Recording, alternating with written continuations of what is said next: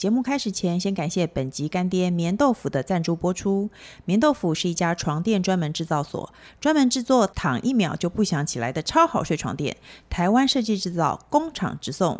一年出货破万张，压倒性好评，一百晚试睡计划不满意全额退费，立刻搜寻棉豆腐，在自己的卧房尽情体验。以下请收听广播剧《棉豆腐之阿明的一天》。哎呦，半夜突然一阵尿意不起来上厕所，真的没法都。哎，年纪大了后捧功真的不能用。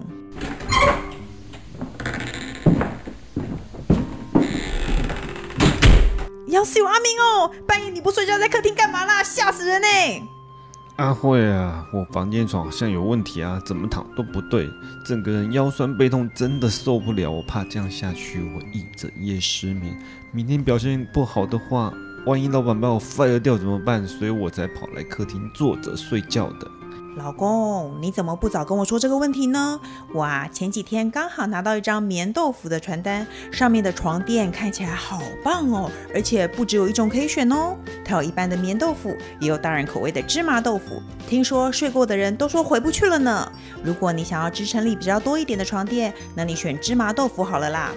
哇，老婆，你怎么知道这么好的东西啊？这么好康都不让我知道，那我买这个棉豆腐会送另外一种豆腐吗？呵呵。哎呦，死相哎！谁叫你打呼那么大声？我只好跟你分房睡。我们先赶快下定啦。棉豆腐送货来，请签收。阿米阿米，我们订的芝麻豆腐来了耶！而且他们说啊，如果睡了不满意，一百天内都可以退费哦。阿慧简直太棒了，我现在就迫不及待想要睡喽。吼，老公，先吃完晚饭再睡了。知道，我怎么可能错过老婆辛苦煮的饭呢？嗯，吃饱饭洗完澡，终于可以试尝我的芝麻豆腐喽！嘿咻嘿咻，哇，这真是前所未有的体验！这两千颗独立桶的支撑力，厚实的记忆棉跟天然乳胶。天丝表层的细致感受实在是太舒服，太想睡啦！我快要抵挡不住周公热情的邀约喽。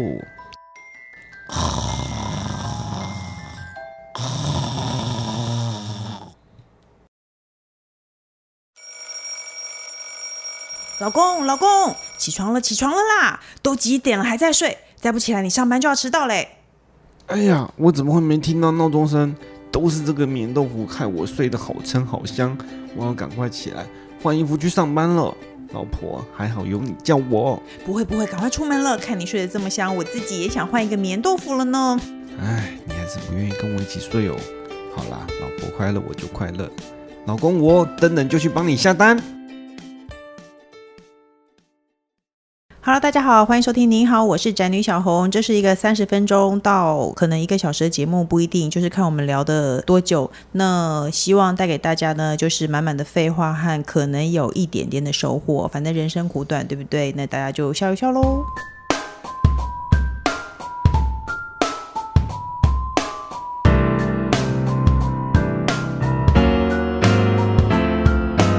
那今天的主题是。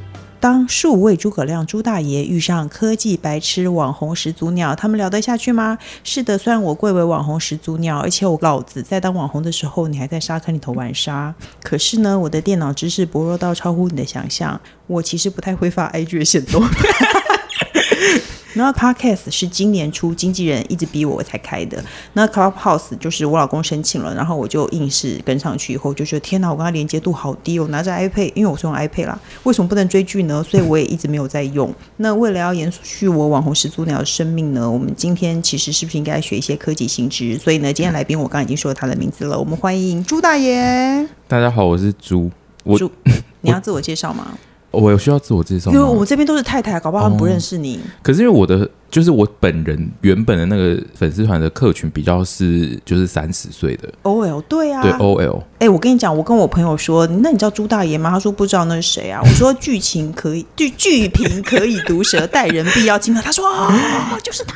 对我比较。不一定会使用朱大爷这个名字出现在各处。所以我们今天要一直讲说，我们欢迎剧评的可以读书的人要用不用亲和。，我现在都比较常称自己是猪。哦，OK，因为嗯猪他其实很忙碌哦，他有经营他的粉丝团，然后呢，他其实是一个有正常的工作的年轻人，然后他还有在副业在 YouTube 频道当陪审团的制作人。对，你干嘛忙成这样？我觉得你刚刚的介绍很像，就是你说数位诸葛亮，但是你刚刚的那个整个开头很像，我是要来介绍电脑。对啊，没错，山我西哪会阿达，啊电脑王阿达，我本人也不是电我脑啊，们欢迎电脑王阿达 我。非常的不会使用电脑。你也不会比我会吧？嗯，应该比你会一点，但就是我也不是走会使用的工程师在翻白眼。Hello，大家好。哎，对，忘了介绍，很会用，他是很会用电脑的人。很会用。对我很会，嗯，不会啦，还好，普普通通，跟一般人差不多。OK，那我首先我想问猪，你为什么要做那么多事情啊？你给人的感觉是也没有特别上进，对我是一个不是很上进的人。那你做那么多事干嘛？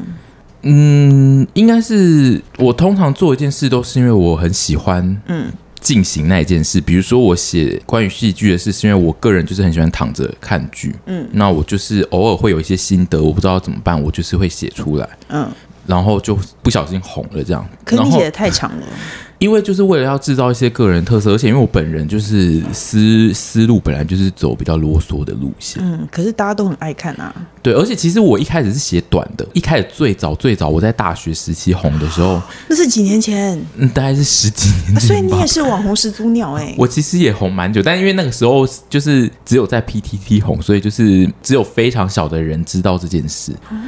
我在 PPT 其实就是在日剧版，就是用朱大爷这个名字在写。对，但是就是那个时候我就是写一部戏，我可能只会给他大概五句话左右。嗯，然后就是因为那个短评很红，然后我后来隔了很多年才出来，就出社会的时候才创了那个粉丝团。然后粉丝团那个时候是为了做不同的模式，因为脸书的贴文就不适合做那种一条一条的一句话的。不会啊，吕秋远不就这样？有吗？吕你说，秀远你说吕吕秋远，我们问吕秋远为什么要这么做？可是他都一条一条，但他每一条都会解释蛮长的啊、他都有十条，对不对？对，但他的十条还会解释十件事，就是我那个一条一条是真的就是一句话一条，嗯，我觉得不太适合做在脸书上，所以我后来就比较是写长文的形式。哦，对那那为什么你还要再去当那个呢哦？PD？、，那个就是我刚刚就是讲，我每一件事都是因为我喜欢做那个事，然后我去当 YouTube 的 PD，就是因为我后来就是比较没有那么爱看连续剧之后你，好久没有写新剧嘞。对，因为就是对连续剧有点疲乏，所以我后来就是转成爱看 YouTube，而且因为我后来就是在公司比较喜欢当薪水小偷，薪小，所以就是我上班的时候就是偶尔会打开 YouTube 看一些影片，然后我就是热衷于看 YouTube 之后，我就想说，那我应该自己可以制作一些节目的事情吧。被被老板知道这样好吗？呃，我是蛮想要他知道，我现在常常在我自己的节目就讲这件事，讲说为什老板来么你希望他 fire 你吗？对我希望老板赶快发现我现在很想离职。哎、我跟你讲，离职以后，我真的不会去看 YouTube 频道，然后也不会一直逛网站，然后也不会那个团购，因为你自己在家有很多自己的时间，你就觉得你到底干嘛要做这些事情？没错，因为我其实大部分 YouTube 都是在公司看的。对啊，因为我有一个上班族的同事，他大概十点前都丢大量的垃圾新闻给我看，然后他十点前他都在边吃早餐边看新闻，然后十点以后他就会开始想午餐要吃什么。我我没有就是到这个程度，但是就是我的确是因为上班太苦闷，所以而接触了 YouTube，然后现在变成 PD。哦，那这样子感觉，因为你在粉丝团里写到说呢，你觉得布洛克从某个岁数开始会有非常多彩多姿的心态转折，比如说刚出道的时候不想要接业配，然后后来年纪稍长，就是发现人需要有点钱，嗯，然后呢，你就开始接业配了。嗯你的你可以告诉大家你的心理转折吗？嗯、我那个心理转折没有很特别，就是不是因为某一个品牌来问而你感觉需要接，就是你就是喜欢那个东西，应该就是你上班到某一个年头，比如说你过个两三年，你就会发现那个收入跟你要支出的事情其实有一点落差。尤其住台北，就是你每天花，因为我餐费很高，所以我就是会每天算下来，然后再加上。比如说，呃，新年要回家发红包的时候，就是钱不够对，这样算下来就会觉得那个入不敷出，所以需要拓一些金流。哎，我问你哦，你的业配收入有没有高过你的薪水？有，对我那时候也是，而且我跟你讲，我写一个业配就高过一个，因为我一个月薪水很低，嗯不是因为我薪业配高，是因为我真的薪水很低。但我还是苦熬在办公室，因为我太喜欢上班了。我现在也是这样。我前几天才刚录了一集，就是在讲说我为什么暂时就是还没有离职，就是我在细数办公室有哪些事让我留下来，嗯，就是一些可以当薪水小偷以及就是中央空调这一类的内容。工程师，你都不想插话吗？你不想，我们就要继续聊喽。我觉得如果你不喜欢这份工作的话，就是早点。他没有不喜欢这份工作、我没有不喜。欢呢、嗯可是你刚才是说那个，你希望你老板发现，哦，我现在的想离职的念头是因为我现在真的非常的忙，然后加上我的我的上班族的工作近期有一些变动，所以我也上班族那边也非常的忙。其实我如果照去年的 Temple 呢，我是一个新小，就是我在公司其实可以比较安稳的进行一些事情的时候对，那个时候我在去年我就觉得过得很好，但因为今年就是业务有一些改变，然后我公司太忙对 公司变太忙，然后我现在就是主业跟副业都非常的忙，所以我就是有点痛苦。哎、我那我问你哦，那你鼓励年轻人就是来当网红吗？因为很多听据说现在年轻人的那个薪水，哎，职业的志向的前几名就是网红。哎、你鼓励大家放弃一切来当网红吗？你的椅子跟外套都有一些声音，对，是我吗？对就是你，你的外套外套怎么会有声音？你就是有声音，超多声音，好不好？你给我有，裸而且你的椅子一直，咯咯咯咯咯咯咯咯咯会不会是这个椅子的问题？他有没有裸体录音？然后他的乳毛就一直戳到麦克风。不要再乖乖乖了好吗？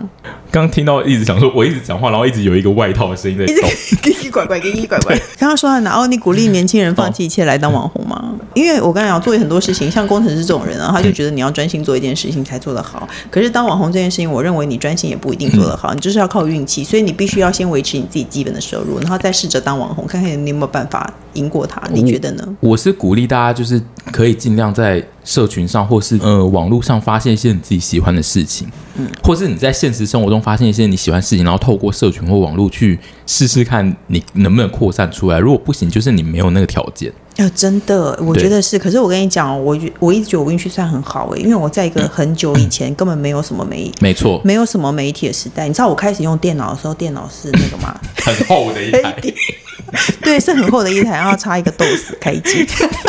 很久以前是黑底绿，我也不知道黑底绿字、欸，没有啦，有啦是啦。哦，是黑底白要插字磁，片，要插磁磁片。倚天中文然后要接那个电话线，然后叽叽拐拐，叽叽拐拐滴滴这样。电话线。我们的年，我们年代有经历。那个已经是已经是那时候我已经出社会了。所以我觉得我那个时候很容易，其实我那个时候要走红是容易的。然后那个时候几乎就只有匹克帮无名，哎，我比匹克帮还早。我我觉得我出来的时候好像没有匹克帮，嗯有无名，它还有番薯藤。我觉得不是这样子、欸，我觉得每个时代都有每个时代的环境跟机会。没有啊，可是你那个时候其实还是有非常非常多的算少了。的部落客，可是。可是应该说媒体很少，所以没有什么 Facebook。以以现在的名词来说，其实你那个年代就已经有非常非常多的自媒体了，真的吗？真的，只是他们使用的平台不一样。对，我跟问郑成功哎、没有吗？什么我看过郑成功本人哎、因为以前真的很少东西，以前只有部落格，那现在后来变成说你要有 Facebook，要 Line、IG、Twitter、Google 加，还有一些 YouTube、Clubhouse，这种到底是什么鬼 Google 家还在对，Google 加是什么啊、Google 家已经死了吧？这是写脚本的人说的，写脚本也是一个老人，他可能也查了很久。我记得现在早就没有 Google 家这件事了。他早就收掉了。对啊，对啊，可是因为我那个年代，你不需要焦头烂额的操作很多个媒体，应该是说现在曝光的管道非常的多。我自己觉得，就是你有特色的人，其实你不一定需要很多地方都一起在做曝光这件事，但是就是像法拉利姐，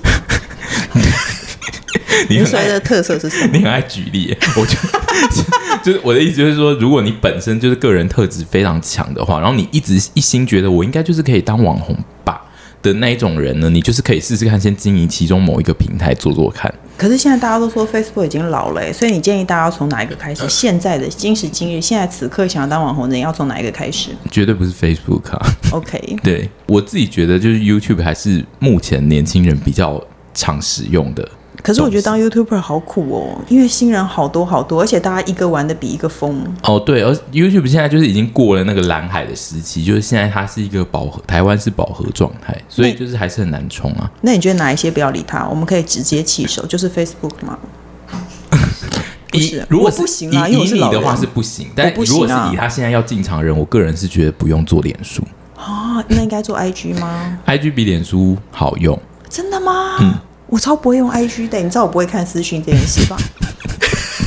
王小姐教我很多次，我经纪人教我很多次，我但我每次会忘记。因为我之前传私讯给你，我都想说你是不是不会看，因为你常常就是读了，看然后好像不会回，然后因为，我没有，应该是没有读，应该是别人用了我的账号，不小心进去读了。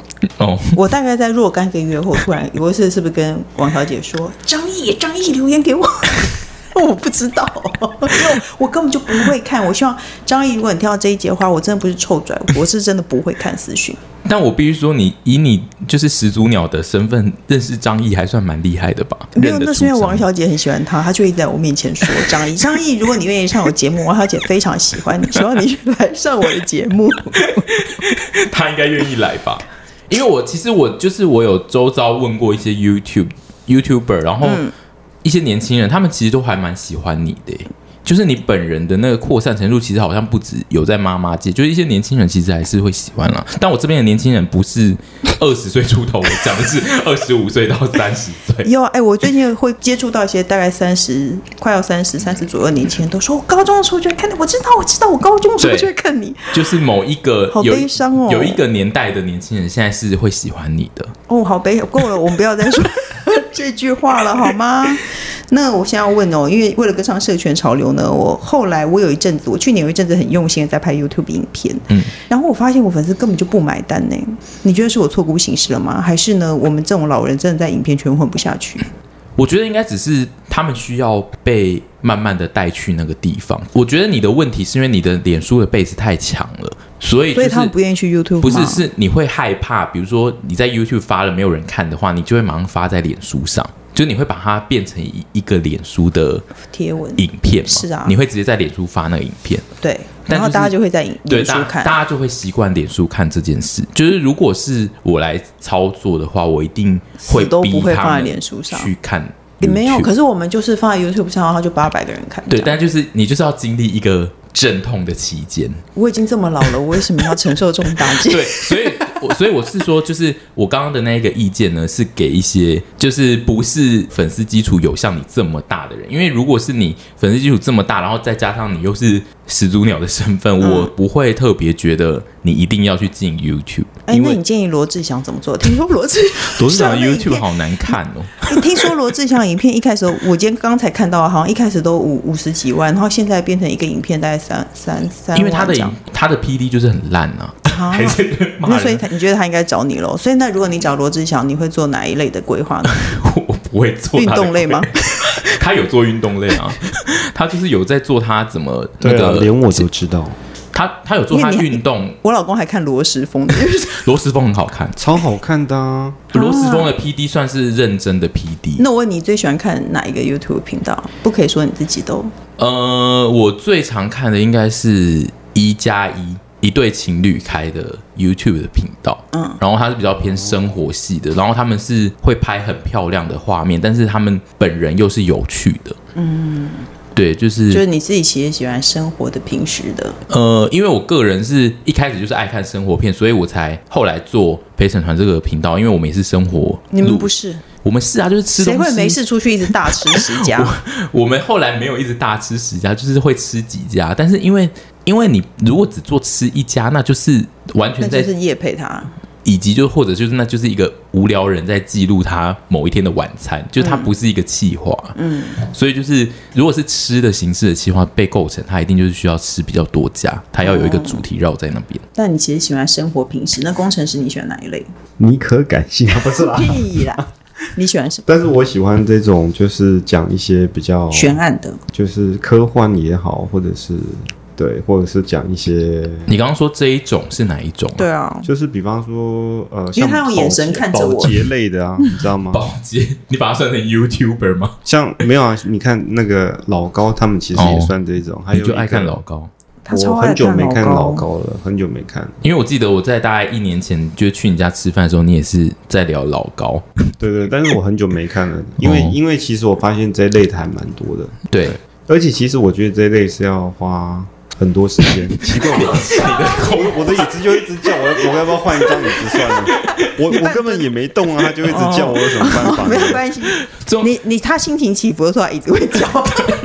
因为你刚刚为什么在空拍的时候椅子会叫？对啊，而且我记得就是在那个一年前询问你的时候，你自己有讲说你你的梦想就是你想要做一个类似这种的频道。没有没有没有，我想说我我要做一系列的 YouTube 来致敬我喜欢一系的 YouTube。那那一系列现在去哪？在哪里？没有，我们就放弃这样子。男人只剩下一张嘴，是 中年男子只剩下一张嘴。可以讲你想要跟谁致敬今天？是要分享大家喜欢的 YouTube 快啊！你要说你要跟谁致敬？老高和小莫，还有呢？没有，我只想要跟小莫致敬，好吗？所以你要当老高，然后有有有一个人来 cosplay 你的小莫吗？没有啦，没有啦。那个人不是我，我，你也可以吗？你可以有别的搭档吗？不行不行。但我觉得就是 Pocket 这个舞台有让工程师比较跳出来吧。有哎、而且他会他会念出就是在赞同他喜欢他的粉丝的留言给我听哎、我心里想说天啊太毛了，我给我我这边传授一些，如果年轻人你想要当网红的话，不要去看留言，我从来不看留言，就算今天新闻写到我，我都不会点开看，我是连点开都不会点开哦，我不会看看里面，然后不看留言，除非我完全不知道他到底要写什么，不然通常你看到大标你就知道他今天想写什么了，然后我连点开都不会点开，因为我觉得看那些留言很不快乐。但那是因为你你的身份也是高到可以上新闻，没有，有的上了新闻，拜托，连我这样都都会写嘴贱网红，然后都不写名字哎、因为有些人他只是就是在 IG 线动被提及一下下，他们就会很开心。可是你不觉得看那些留言很不快乐吗？因为一定会有人一堆人在骂你啊。大部分的像我这种怪奇怪状的人，然后大家就会说丑八怪是谁呀、阿猫阿狗都可以当网红，就是大部分都是这种留言啊，我是觉得就是不用太认真看这些，但是就是连看都不要去看，因为工程师很喜欢看，而且他会朗诵。但因为如果是在自己的一个区域里面的那种留言，通常还算是蛮激励人心的吧。哦，对，就是你不要走出去，所以上新闻的千万不能看，因为上新闻的是不用看了新闻就不是你的舒适圈。但我觉得就是 Apple Podcast 的那个留言那边，其实还是有大部分都是同温层人，所以是可以看一下。所以你都会慢慢的去看，然后会回他这样吗？呃，对，但因为那主要是我们的经营策略，因为我本人就是我自己的粉丝团，其实我是没有在看留言的，就是很早以前就有呼吁大家说我是一个懒得看留言的人，但因为我现在在经营的是另外一件事，那个有点不是在经营我自己，所以那那个的留言我就会看。而且工程师好像想出另外九个，想讲另外九个，但我们一直不让他讲，就 插话了。还有呢？还有什么？你想要跟谁致敬？我记得在你家听到的时候，你那个规划还蛮多的。对啊你那时候连想要怎么拍跟那个主题都有讲出来那。我都没有听见，我都没有在听他讲话。哎，我有记得，就是我在洗菜吗？他规划了大概两集左右的内容，而且都不是老高小莫的哦。那时候我一定喝醉了吧？那时候我只觉得那个节目听起来好难看，但是就是我都有说 哦，也想的蛮多的哎、。你社会化的很成功哎，你也觉得那节目应该会很难看，对不对？对，工程师，谢谢。你，那还有什么呢？你还想要什么？谢谢指教。快点啦！你不讲出来，以后也没没有机会讲像。我觉得有几个节目蛮好的，蛮也是蛮推荐大家看的。比方说，嗯，X 调查嘛，我觉得蛮好看的。然后，其实我最近很少看，那你都在干嘛？打电动啊？就是工作啊。没有，你在打电？动啊？没有没有，真的在工作，真的在工作。我想想看，我自己，我其实我自己也会喜欢看生活类的，就是改造家里那一种。哦，然后我之前看了一个，我哎，我一时忘记他叫什么名字。然后那个女的好可怕、她会从淘宝上面买买东西，然后自己做出一个衣帽间，就是蛮厉害的、衣帽间啊，，那蛮厉害的。然后就是改造后厨房、改造后阳台什么之类的那哪。里可怕了？因为很可怕，因为做衣帽间，因为像我们这种中年人，我们就会花钱做。我觉得花钱请人家做可怕的意思是 没有他从淘宝，然后等海运、等等运，然后自己把一个一个敲到墙壁里哦，然后自己做起来，然后弄得很像外面外面整个做好的，就对了，对对对对自己来。对，而且就是他们一对夫妻自己做，我就觉得那很厉害我超爱看那个。那后来就最近好像也没有什么特那别。你喜欢 DIY 吗？我终于可以开到一点小黄腔了，一直找不到机会你。就是喜欢开黄腔，对不对？哎，我那天打开他 IG，看到那个女的穿很小一件的泳装，我我就说这个人是谁？他说他不知道，IG 推荐，然后穿很小件的泳装，他觉得很好看，他就那个追踪。你说他就追踪，可是因为我不知道男生会这样哎、你会因为看，因为我我只会看到动物的，我会追踪。可是他看到人家穿极小泳装，然后就追踪他了，他也不知道那是谁哦，而且是韩文的，他也听不懂讲，看不懂字。因为就是如果你常常看同样类型的人的话，IG 确实会推荐蛮准的哎、脸孔难怪我 IG 打开都是动物，对，就是你如果太常看动物，就是它整面的那个推荐墙就会只有动物，所以你现在工程师 IG 都是小泳装？都是肉色吗，就是没有泳装跟他喜欢的那个形态的那个国籍也有可能。然后大家就他就去追踪，然后就 IG 一滑就全部都是肉色。我是不会就是看到那个墙推荐给我我就去追踪，但是那个墙的确你点进去看的时候，你会一直想要点很多张图进去看。嗯，我帮他讲一下话，就是有的时候只是不小心会点阅，然后他可能看了两三张照片就会想不是这样的，让我为我自己辩护一下。好，人家要贴什么东西上来，我能阻止吗？哦，你的意思是说他本来你追踪他的时候，他是写了一首诗，然后你觉得很美，所以你就追踪他了。嗯，殊后来他开始一直穿小泳装，你也觉得很受不了。大概是这个意思。那可以退追啊，如对啊果你可以退觉得不追踪啊哎呀，我不会退追 呀。那你，OK，教他数位诸葛亮，来教大家怎么退追踪。就是在追踪那个按按钮按下去，它就会变退追踪了。嗯，OK，好的。哎，最后说要请你推荐剧耶，你有最近有看什么剧吗？是已经到最后了吗？这么快？啊，当然啊，因为很久了吧？你应该是要问我一个问题，就是我很想要讲的什么？Podcast 的那个，我先不问呢、我就是要讲，因为 因为我有今天的地位，我想问什么就问什么。我不管，我是因为我现在就是懒得推进去，所以我现在硬要把那个话拉回来。OK，嗯，就是我想要跟大家讲，我其实不会上别人的节目。哦，对所以我是自己人吗？对，一个原因就是我只上认识的人，然后而且因为我通常现在上，我也会跟神一起上，我不不太可能会自己出现，因为我本人是一个蛮难聊的人。嗯，不会啊。有比我难聊？对啊，工程师比是没有较难聊，是没有我都可以跟他聊比你难聊一辈子。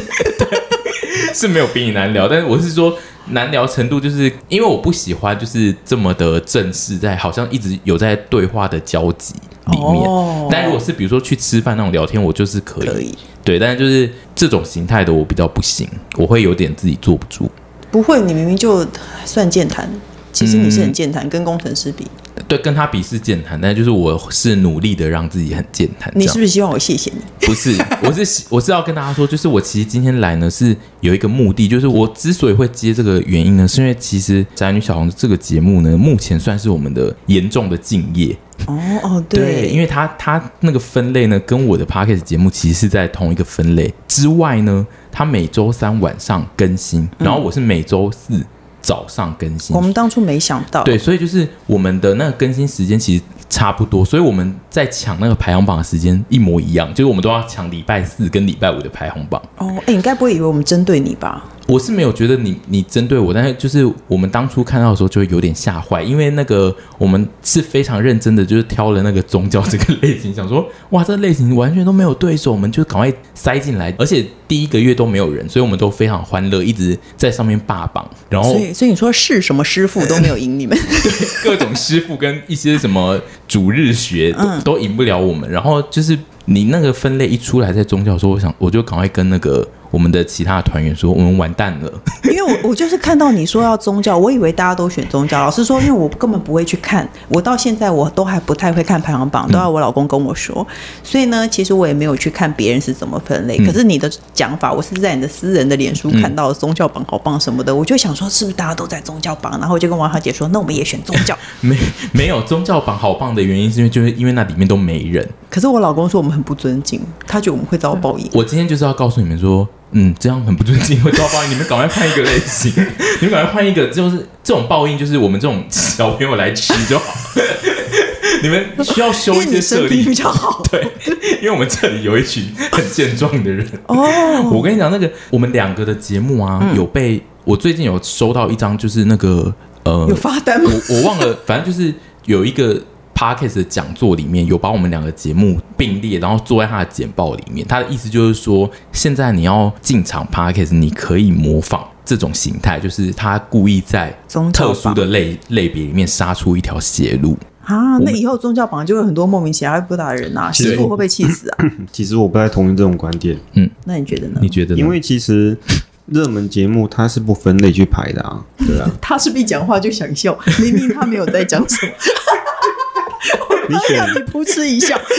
你选一个特别的，你选一个特别少的目录去争第一，其实我觉得没什么。我跟你说，那一个针法呢，就是这一种选特殊类型的人，他只有本身带流量的人有办法做这件事。比如说其他小节目，他进来宗教开，他可能可以抢到前十名，但是他没有办法进到那个热门榜。但是因为有一定流量的人，他本来就可以进到热门榜，但是就是他会有多一个特殊的事情可以拿来做。那个拿来做，比如说我可以在社群上一直讲说啊，我在宗教霸榜，然后我有好多的东西，我可以发做成社群的内容，或者是我在比如说跟厂商报名次的时候，哦我可以说我在某一个榜一直都是第一名，嗯就是他对本来就有一定程度流量的人来说，就是选比较特殊的类型是有操作的空间。但是如果对一般小的一个路人，他想要开节目，他故意开在宗教榜，就是这个是比较没有影响的。哎、今天终究是有一点教育意义的耶。那我觉得如，所以宗教榜其实是有它的好处的。如果我们不想要遭到报应，我们以后节目结束前就念一段心经，念一段心经，回向给谁你谁？觉得怎么样？回向给朱大爷。我觉得可以，但是我是觉得念心经这个内容反而更容易引起真正的宗教人士的生气，为什么路人不能念心经？他就觉得你有一点是嘲讽他吗？嘲讽他在念不行。哦，没有啦，师傅不会这样的啦。好了，那接下来呢，我们节目还有一个单元，就是无用小百科。这个呢，无用小百科呢，就是要跟大家讲一些其实你不知道不会怎么样，但知道了也没什么坏事的那个单元。那今天因为请了数位诸葛亮来上节目，所以我们要分享一些关于科技的无用小百科。天哪，好专业！我从来我不相信哎、每次逛完卖场到停车位要找车的时候，都会找不到你的车，对不对？他说，如果你把汽车的遥控器对着自己的头，讯号就会变强。有这种事吗？